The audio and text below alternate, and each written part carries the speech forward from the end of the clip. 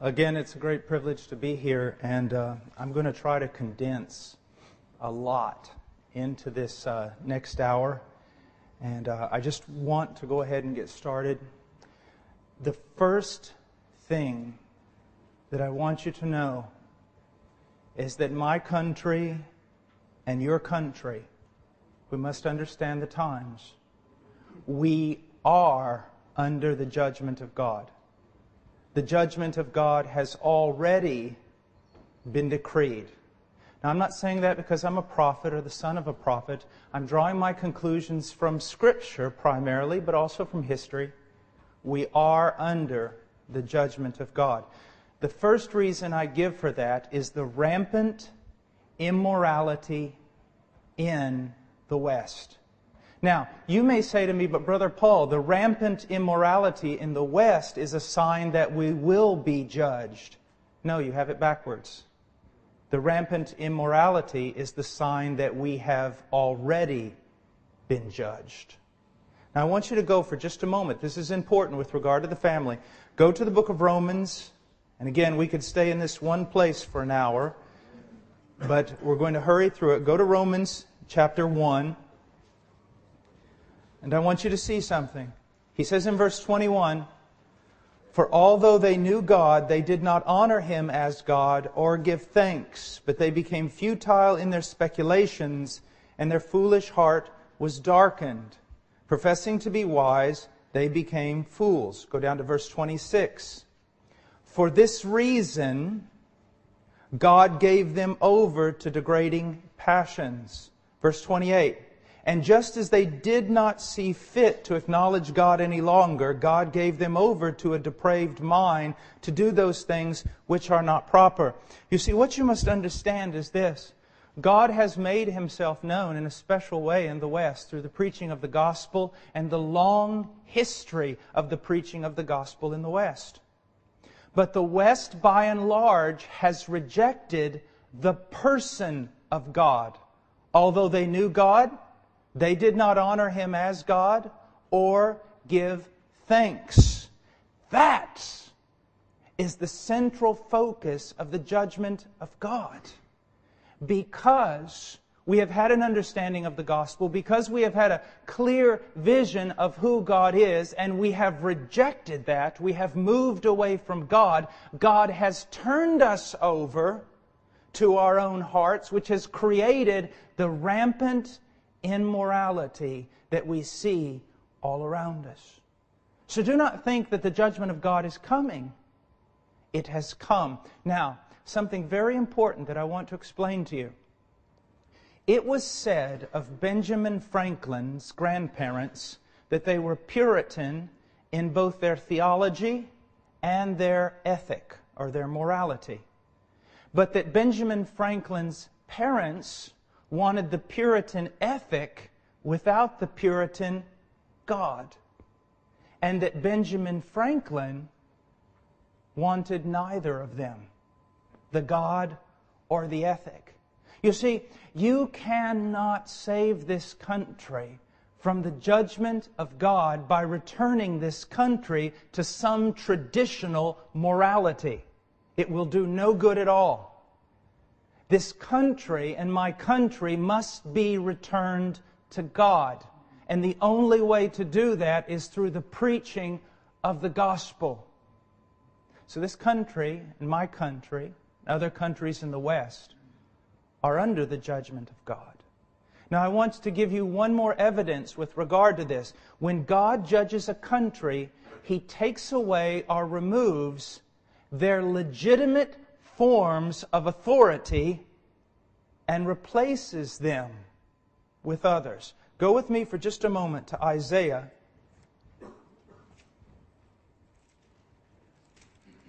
Chapter 3.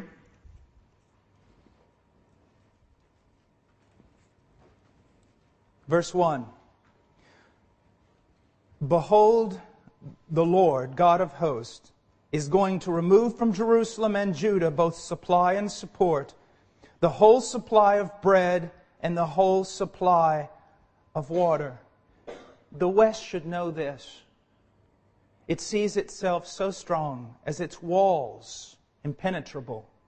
But that is not true. Do you realize that in less than a day, God can remove supply from England, from Ireland, from Wales, from the United States of America, from every other country, and bring that country to its knees in less than 24 hours? We ought to fear God much more than we do. But then he goes on, and this is what he's going to remove the captain of 50 and the honorable man the counselor and the expert artisan and the skillful enchanter. Now look what he's doing. He's removing both legitimate and illegitimate forms of authority from a society and replacing that society with an authority, replacing those authorities that are legitimate with an authority that has no strength to it, has no wisdom to it. He goes on and he says this, and I will make mere lads their princes, and capricious children will rule over them. It's literally speaking about an arbitrary, mutable rule. That people will rule over them that have no foundation whatsoever for the decisions they make. And we all know this when a society moves away from the rock solid foundation of the Word of God, it becomes arbitrary. They are no longer directed by the Spirit of God, no longer founded upon the Word of God, but they are directed by the Spirit of the age and their own depraved heart. Now, when we talk about authority, this is a thing that scares people, but God has set up lines of authority. There are lines of authority in the government. Government is an institution. There is also the church herself is an authority and has a structure of authority. There is the institution of the family. And the family has a structure of authority that is ordained by God. But if you look in our society, all that has been turned on its head. Let me ask you a question. Is it not true today that the old and the wise in our culture are made to bow down to the ideas and the whims of youth that have no basis whatsoever for their own opinions except that they are birthed from their own heart and motivated by the wicked culture that surrounds them. Now, let me ask another question. In the family, where are the husbands? Where are they? Where are the fathers? In the church, where are the men of God? In the government, where are the noble men? The governments. Nothing more than capricious little boys who have set themselves against the will of God. And they ought to know this that all their railings against God and His Christ amount to nothing. They are nothing more than tiny little gnats beating their heads against a world of granite. For God has His rule. He has His king. He set up His kingdom long ago. That nations will come and nations will fall, but the reign of Christ will continue on until the end. Now, I want us to look at some things. Our great need of the day. Men. Men of God. Manhood has been all but lost in our post Christian culture. Men have either become feminized or emasculated, or they have become selfish, pleasure loving, lustful Neanderthals. It is time for the men of God to rise up and take their place in the prayer closet, in the pew, in the pulpit, in the family, and in the world. It is time for us to leave aside all the whims of our culture all the lies of social sciences, to set ourselves free from all these things that have so destroyed us and return to Scripture. Scripture defines biblical manhood for us, and Scripture illustrates biblical manhood in the life of Jesus Christ. And we must once again come under His Lordship and determine what it means to be a man and what it means to live out in this wicked world as men. I'm amazed at our discipleship nowadays. A young boy is presented the gospel at college. He becomes a, a, Christian. He's truly converted. He's given a few books on discipleship, and then he's told to go out and multiply that in the lives of other young men. Yet he doesn't even understand what it means to be a human being before God. He doesn't even understand what it means to be a biblical man. Or even how or where he should take his place among other men to serve his generation. We talk about so many things in Christianity, but the very things that are most important, we don't even begin to deal with. How many of you, by your fathers, were taught to be men? Using the scriptures, trained many years of your life in the scriptures with regard to what it means to be a man, to be masculine, to be married, to be a father, to work, my people perish for a lack of knowledge. How many of you men, those of you who even work so hard in the ministry, how many hours do you log in each week discipling your wife, discipling your children, raising up a godly heritage to the Lord. And what does it matter if you evangelize the whole world but you lose your family? Or you are so responsible in secondary things, but in primary things you've totally and completely been disobedient. God has always saved societies through raising up men of God. Is it not true that much of the progress of England even in these years, is still based upon the great Puritans that God raised up, their theology and their ethic. Is it not true that England was saved from decline by the preaching of Whitefield and Wesley and many of those who joined with them?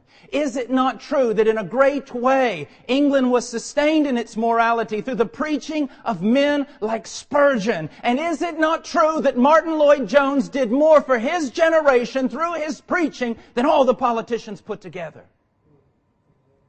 It is the raising up of men of God to serve, to love, and even to die if necessary. Now, I want to talk about something just really quickly. It comes out of Ezekiel 22:30 and it says this: God speaking, I searched for a man among them who would build up the wall and stand in the gap before me for the land so that I would not destroy it.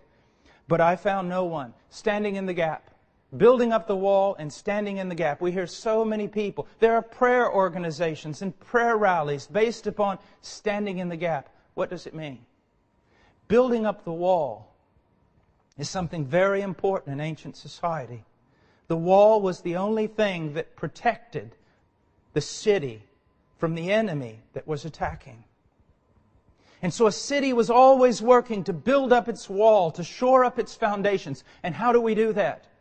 We do that by laying a foundation of the gospel and a foundation of the Word of God. But in preaching the gospel, we have to realize this, men.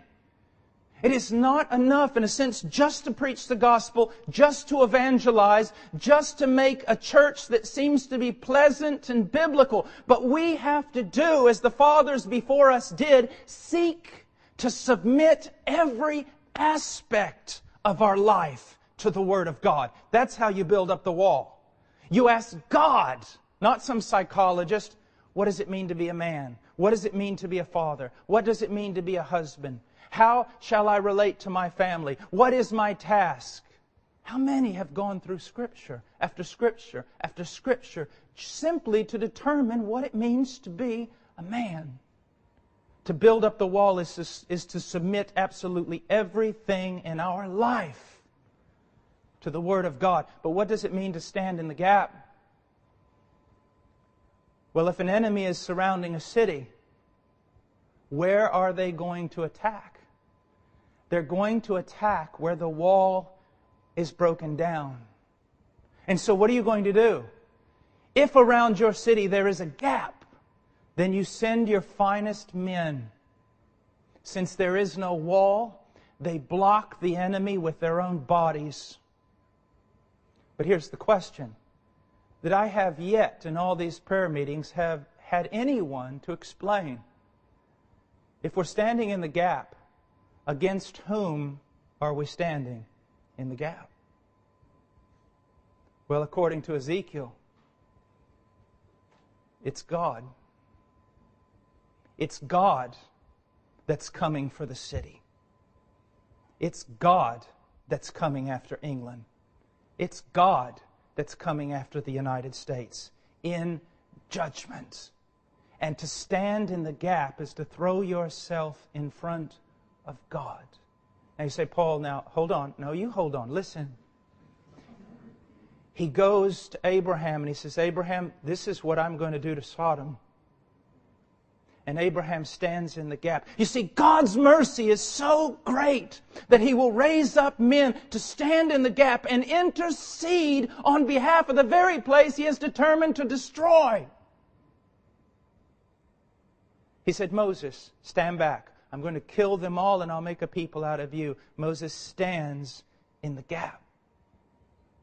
So, as men of God, we are to build up the wall to submit everything in our own lives, in the lives of our families, in the lives of our churches to the Word of God. But also know judgment is coming. It may be delayed, but it will come. And it is to stand in the gap, to cry out for mercy, that God would halt His hand to give us more time to preach, more time to pray, more time to minister, to take the gospel to the nations. Now, what is a true biblical man? I just want to read this to you. Having been regenerated by the Holy Spirit and brought to repentance toward God and faith in our Lord Jesus Christ, the true man is marked by death to self. The very opposite of what we saw here this morning and this afternoon the death to self. True men do not count their lives dear to them. Death to self, all for His glory, all for the ones that I love. Death to self, love for God and His fellow man, a fear of God alone. Among ministers, fear is one of the greatest sources of bondage. The fear of man is a snare. It will keep you from being used of God. Fear of God, and I might add with Wesley, a fear of sin. A fear of God alone, a passion for the honor of God, the advancement of the kingdom of God, and the doing of the will of God. That's man. Now, I want us to look just quickly. Go with me to the very first chapter of our Bible. Go to Genesis.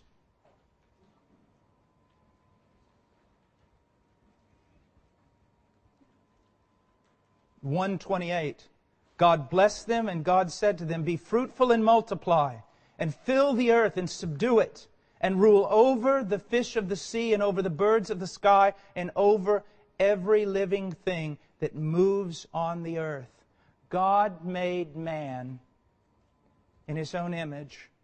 And as our brother pointed out earlier, not some God with a little g, not a deity with a little d, but made in his image in this sense that we can know him, we can respond to him and as his servants and stewards of creation, we can represent him. We are made in the image of God for the glory of God. That's what is so wrong, even in Christian circles. It's all about man, all about man, all about man. But in the Bible, it's all about God. And that's a good thing. You see, we were made for that purpose. And if we live according to our purpose, there will be meaning in our lives personal, real, vital, biblical meaning when we discover that we were made for His glory, for His honor, His worship. Every breath that comes into us is to go out in praise. Every beating of our heart is for Him. Every, every muscle, every fiber in our body is to be given to Him. Only then do we truly live, and only then do we become men. We were made for His glory, and we were made to advance His purposes upon the earth. From the very beginning, that is what we were supposed to do as men. Now, I want you to look in chapter 2, verse 18. Then the Lord God said, It is not good for the man to be alone. I will make him a helper suitable for him, corresponding to him.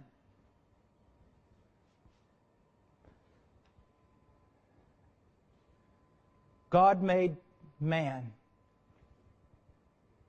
that man might give himself to God for the glory of God and the extension of his kingdom. God gave man a woman, a wife, that she might be a helper corresponding to him, suitable to him, to help him carry out this great task. He taking the lead, he being the head, she being the wife and the helper, both of them together united for one common cause the glory of God and the extension of His kingdom throughout all of creation. You say, but Brother Paul, there was the fall. Yes, of course, there was. But we see this very purpose regained once again and exemplified perfectly in whom? In the person of Jesus Christ. Do you want to know what a man is? You look to him. Do you want to know what ought to be the very thing that drives the heart of a man? Well, go with me. Let's look into the heart of Christ. Go with me for a moment to the book of Matthew.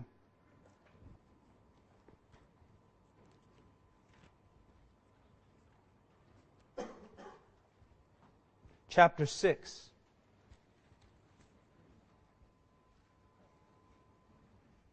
Verse 9. Pray then in this way Our Father who is in heaven. The perfect psychology psyche that we should have in approaching God. The perfect mindset and attitude of how the Christian is to approach God. Our Father, He is your Father indeed. And you can walk in where angels fear to tread because of the work of Christ on your behalf. He is your Father, but your Father happens to be the God of glory who reigns in heaven. And therefore also, you march into that throne room with the greatest reverence and respect. Then he points out something, and here in this prayer we see the very heart of Jesus Christ. And I pray that some of this would be found in our own hearts. Hallowed be your name. Your kingdom come. Your will be done. Now, I want us to think about this. This is extremely extremely important. When anyone looks at me, especially when my wife looks at me, this is what she should see.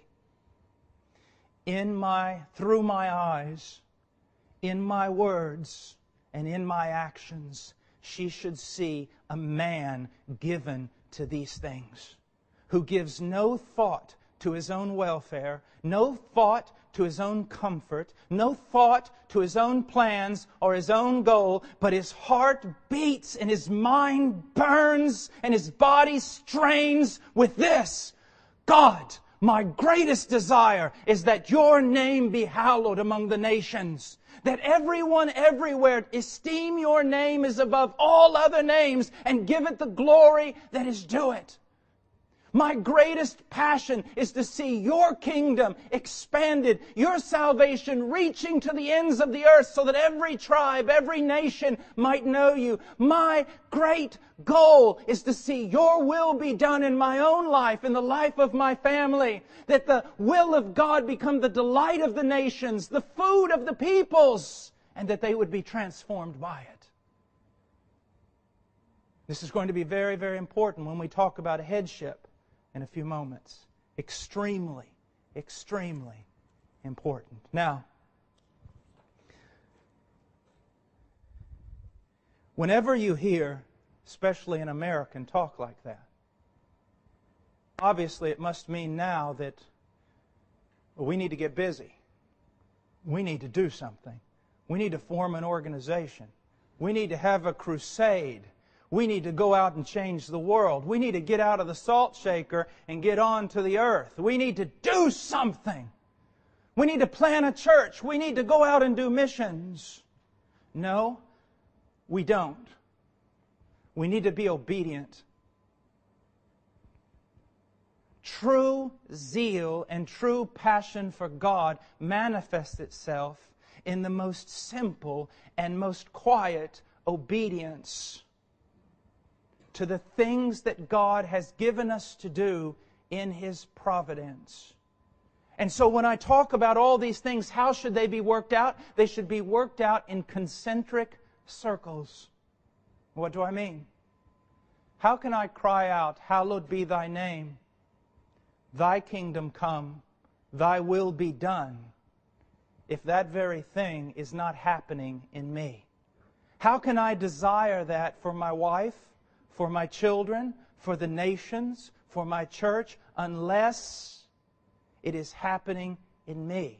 So, first of all, the first circle in my life is that I might grow in godliness. Now, I want us to look at that for just a moment. Again, we don't have much time, but I want you again, just for a moment, to look in 1 Corinthians chapter 9.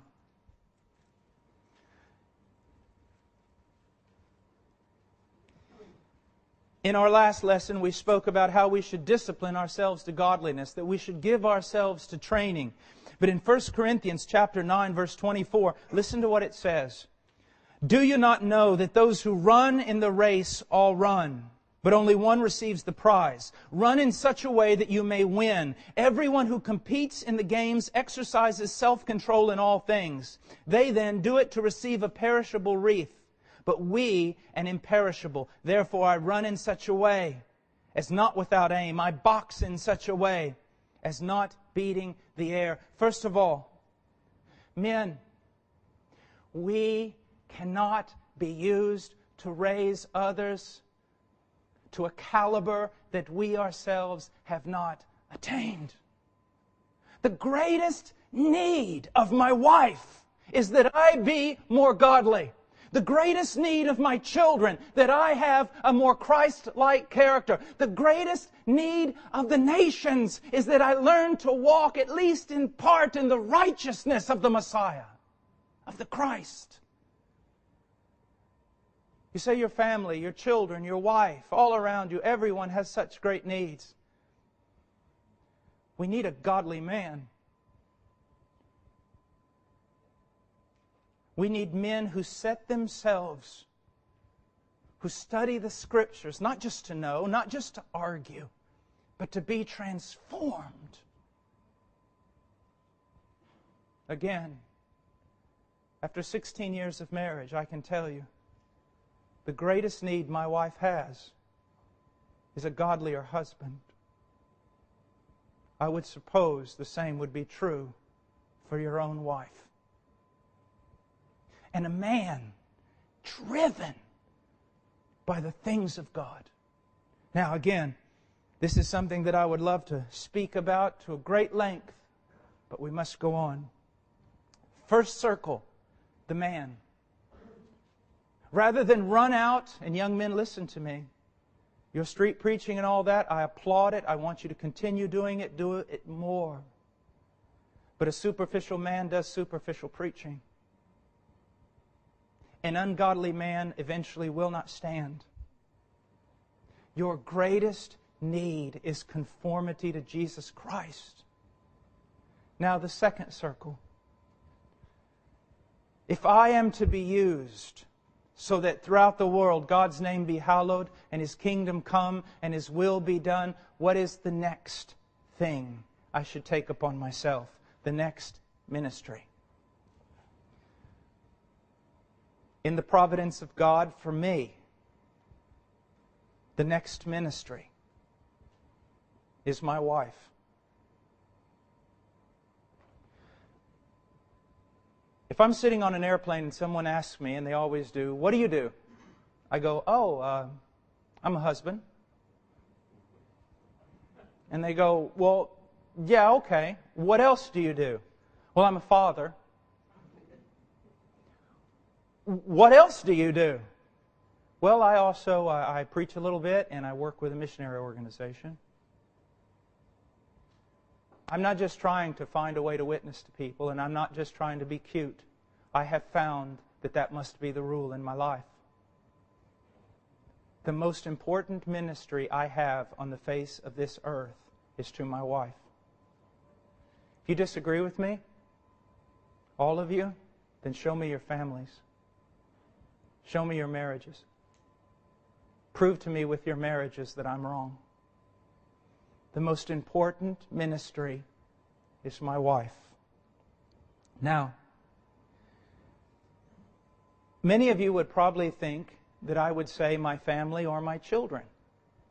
After all, our children are so important. I want you to know I love my children, and the closest I probably come to idolatry is with my children. I love them so much. But they are not first place in my life. They do not come before my wife. Let me give you a very crude but effective illustration. If I'm in a boat with my wife and my three children, and I'm the only one who can swim, and the boat goes down, and I can only save one, I'm saving my wife. You say, I never heard of such a thing. Yes, probably not, and that's what's wrong with our society. You see, if I love that woman, more than any other person on the face of this earth, my children are going to be the happiest children on the face of the earth. They are going to know that their home in this turbulent, upside down world, that this home that they're in is rock solid. Dad's not going anywhere. Also, if I love that woman passionately, my boys are going to watch me and they're going to learn how to love a woman. And even more importantly, my little girl is going to watch me, and that's going to set the standard so that when some incompetent, stupid young man makes all sorts of pledges toward her, she is going to send him on his way. She'll say, You know nothing about love. I have watched a man love one woman deeply. Grow up.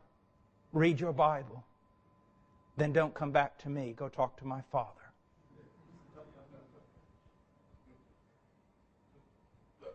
Now, headship. I want you to look at something in Ephesians that's very, very important. Ephesians chapter 5, verse 21, and be subject to one another in the fear of Christ. Verse 22, wives, be subject to your own husbands as to the Lord.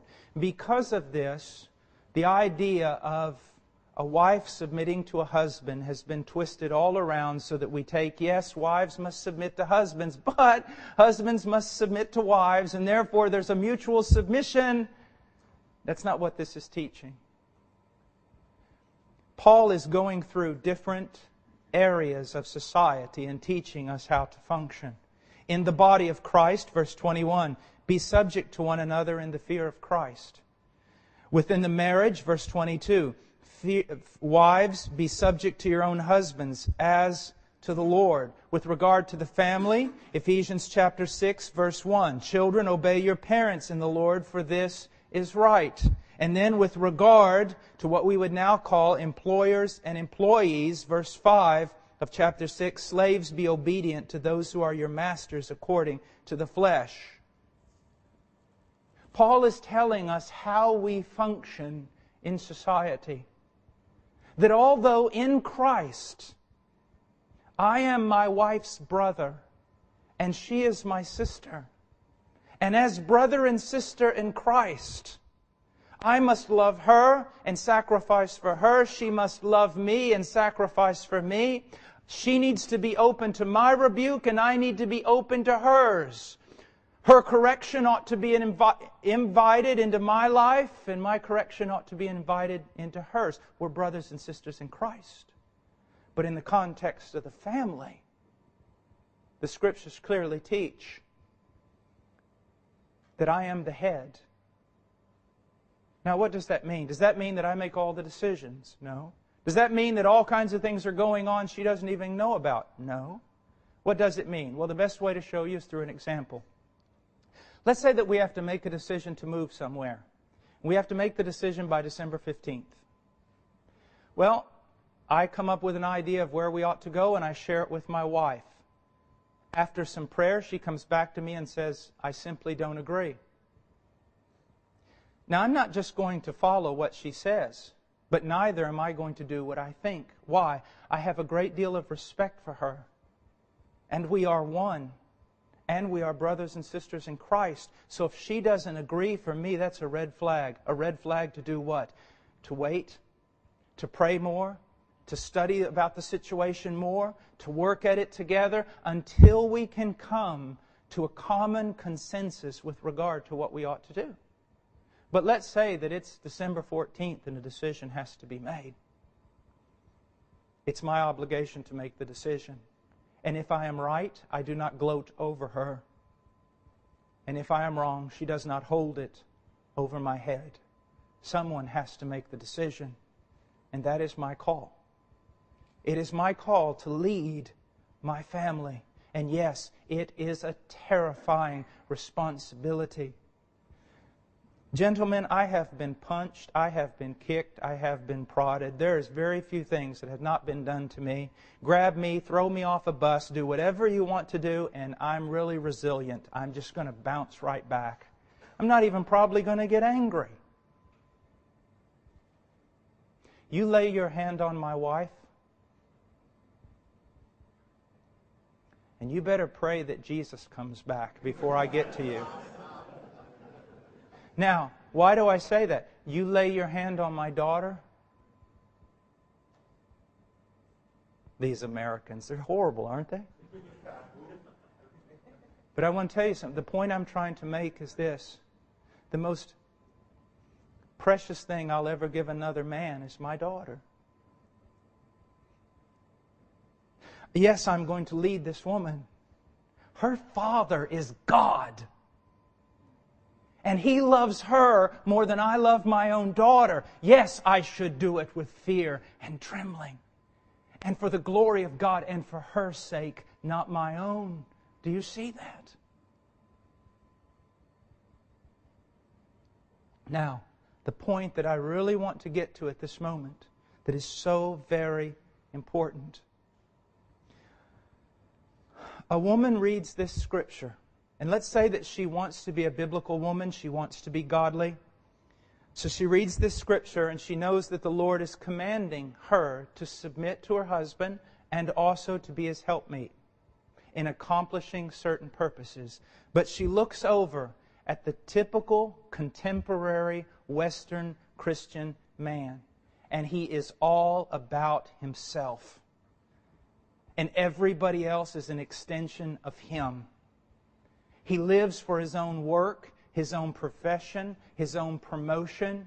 In the United States, he lives for his hobbies, his weekends, his hanging out with the guys. It's all about him, all about him. And she says to herself, I'm to submit to that, live my life, and help a man meet all his self-centered, selfish desires and plans? You can see where bitterness would enter in, can't you? But now look at it this way. What if she looks over there at her husband and she sees self sacrifice exemplified. And he, she can see in his eyes and in his actions, Hallowed be thy name, Lord. Thy kingdom come, thy will be done. She looks at a man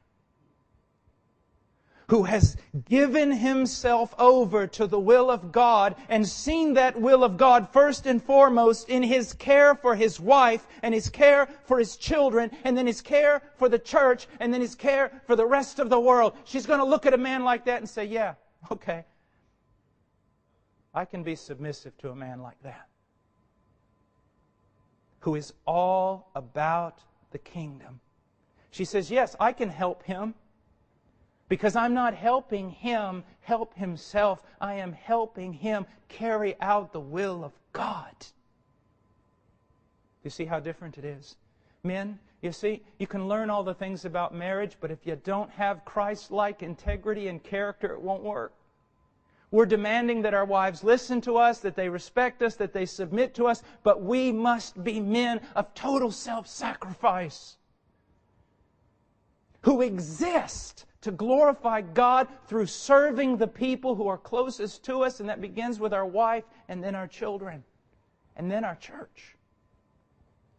Now, I want to talk just a moment about the rule of Caesar. It was self serving, self promoting, demanding, merciless, and destructive. It was a godlike rule in which everything was centered on Caesar and was an extension of Caesar. It was all about Caesar's person, position, place in history, and vision. Daniel 7 7. After this, I kept looking in the night visions, and behold, a fourth beast, dreadful and terrifying and extremely strong, and it had large iron teeth. It devoured and crushed and trampled down. Some men who are always demanding that they be respected and that their wives submit to them, this is the type of rule they have in their home. Jesus said in Matthew 20, 25, you know that the rulers of the Gentiles lord it over them, and their great men exercise authority over them.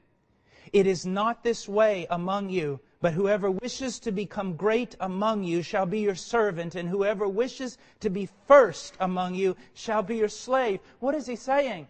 We use our authority in the family to serve our families, to bless our families, to strengthen our families for the glory of God. Jesus Christ in the book of John, knowing where he had come from, knowing where he was going, knowing that all authority had been given unto him, what does he do?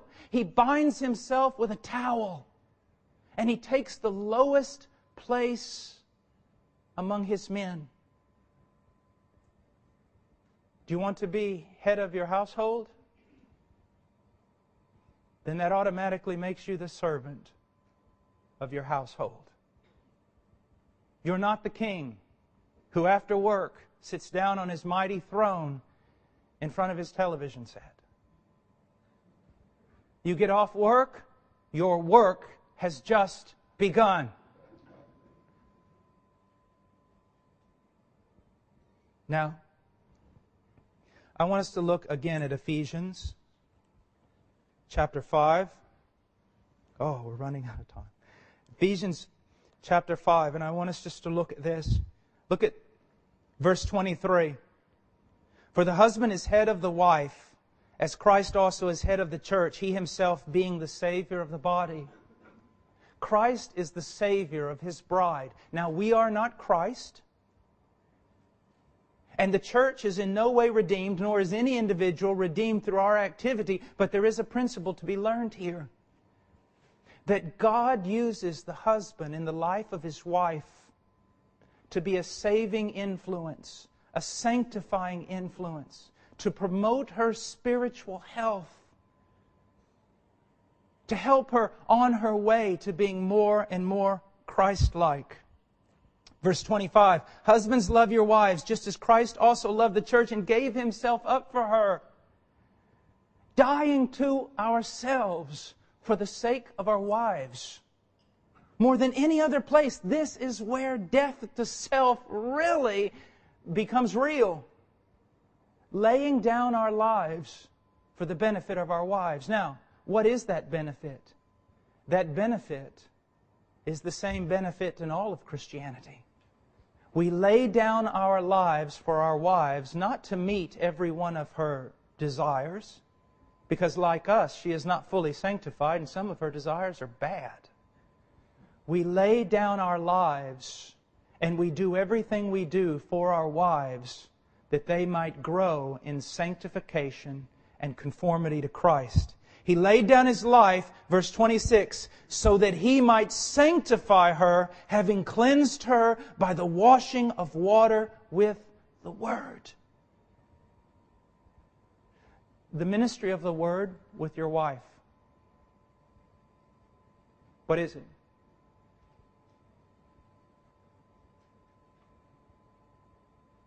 Does she know that you're the most important? That she's the most important person in your life? Does she know that she's the focal point of your ministry? And that, in fact, you've come to the realization that if you don't minister well to her, you can't even you can't be an elder.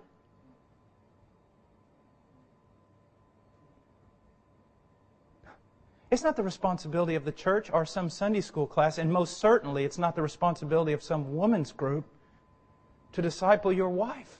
Sir, it is your responsibility. And something that we have forgotten, just very, very important here in verse 29 For no one ever hated his own flesh, but nourishes and cherishes it. Are these words descriptive of your relationship with your wife? Of all the things that convict me, possibly these two words are the most convicting. Is she nourished by you? Growing because of her relationship, her unity with you? Is she growing? Is she cherished? Gentlemen, let me say something. It may be kind of offensive, but just give you, shock you out of your slumber. If the only time you hold your wife, embrace your wife, kiss your wife, is prior to sex, you make her feel cheap. Do you sit with her just to sit with her? Do you hold her just to hold her? Do you take her by the hand just to take her by the hand? You see, she needs to know she's loved. She needs to hear she's loved. That's why it says, love your wife. Isn't it interesting that here at least Paul does not tell the women to love their husbands? I don't need my wife to call me three times a day at the office. I don't need her to send me flowers. I don't need her to say, I love you, I love you, I love you. But isn't it interesting? Paul tells the wife, respect your husband. She must respect me or I'll die. She needs my love. And it needs to be affirmed. I need her respect. And if I have it, I can wake up one morning and everybody on the planet can be outside my door with signs saying, Down with Paul, we hate Paul, and it's not going to bother me. As long as I know that woman in my house respects me. You see that? Now, just quickly. Oh, just look in Philippians chapter 6. Philippians, I'm sorry, Ephesians chapter 6. Verse 4. Fathers, do not provoke your children to anger, but bring them up in the discipline and instruction of the Lord. Now listen to me. How many millions, if not billions of dollars are spent every year on Sunday school material for children, Sunday school conferences for children, and the training of Sunday school teachers? How many man hours, millions of man hours spent in the church organizing Sunday schools and everything else, and yet there's not one place in the scriptures where it says the church is supposed to train our children or that we're supposed to have a Sunday school. But let me ask you this. How many, how many millions of dollars are spent? How many hours in conferences are spent training fathers to do what the scriptures command? Nothing. Zero. Do you know the early Baptists I hear in England fought hard against Sunday school? And this was their prophecy. If the church takes over the training of the Christian's children, then family devotion and personal discipleship in the home will be destroyed. It is not the responsibility of some Sunday school teacher to teach my sons and my daughters. It is mine and not haphazardly. Their entire eternal destiny depends on what they get from their father. So it must be marked out. It must be prayed over day after day. You want to count the cost for serving Jesus? Then before you go out and do something big in His name out there in the public, do what you're supposed to do with your wife and your children discipleship every day. Thinking up new ways to communicate Christ, to teach the scriptures, to go through the catechisms, all these things. Let's just look at something for a moment. A child is born, almost immediately goes to a secular nursery because the mother goes back to work. Sometimes it's necessary, but for the most, it's because they want finer things. And they're selling their children for a bowl of wine. Why do most people have children? Other people raise them. So they put their child in the nursery. And then when the child's old enough, it goes into a secular, maybe uh, kindergarten or primary. And then after that to secondary. And then after that, the university. Listen to me 18 years, eight hours a day, five days a week. Caesar has trained your children. So don't be complaining when your children are sons of Caesar. And what do we do to counter that? We take them to Sunday school where they paint pictures of Noah's Ark. But we do. Do you see that? Fathers, look at what we're doing. Then look at the media. Just, just think about it. Most children in the West spend at least three hours in front of an ungodly television set or playing video games or something. Think about that. Then think about their peers, the other children around them. I want you to think about the three greatest lies of the devil with regard to children. One is the generation gap. Young people need to be with young people. Do you know that directly contradicts Scripture? Do you know that most youth groups are direct contradictions of Scripture? They are. If you're mad about it, come see me afterwards. I'm ready. They're direct contradictions. Look, the Bible says in Proverbs 13:20, "He who walks with wise men will be wise, but the, but the companion of fools will suffer harm." Another lie, socialization. If your children aren't with other children, they won't learn social skills. Let me, let me just ask you a question. What kind of social skills are the children of England learning from other children of England? Oh, they're sitting around, aren't they? And they're studying about Christ. And they're studying about noble character and virtue. And they're reading positive works of literature. And they're discussing art, science, music, and beauty. All the things that separate us from the brute beast. No, they're not. They're doing the same thing the young people are doing in our country, my own country. I've walked around the streets of England and Ireland and Wales. There were things I've seen with my own eyes among young people here in the last two weeks that are exactly like what's among the young people in my own country. Things I have seen that I feel like I'm almost been baptized in filth. So our children need to be socialized in a culture that hates God. And then another one. Well, I send my child to school so that my child can be a witness. Your, your child's maybe not even converted. And if they are converted, are they ready to go to war? Send them to Iraq then at 11 years old. Because I can assure you this what's in our schools is far more dangerous than what's in Iraq. I know I'm shaking some of you up, but you didn't ask me to come here to just make you feel happy, did you? Look at what we're doing. We're losing everything because we've bought into the lies of this world. I encourage you go home, Read Deuteronomy 6, 1 through 9.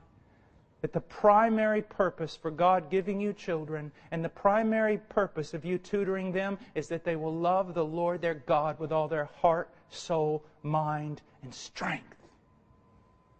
And listen to me, gentlemen. To do even a tenth part of the things we've learned in Scripture today, it will cost you dearly.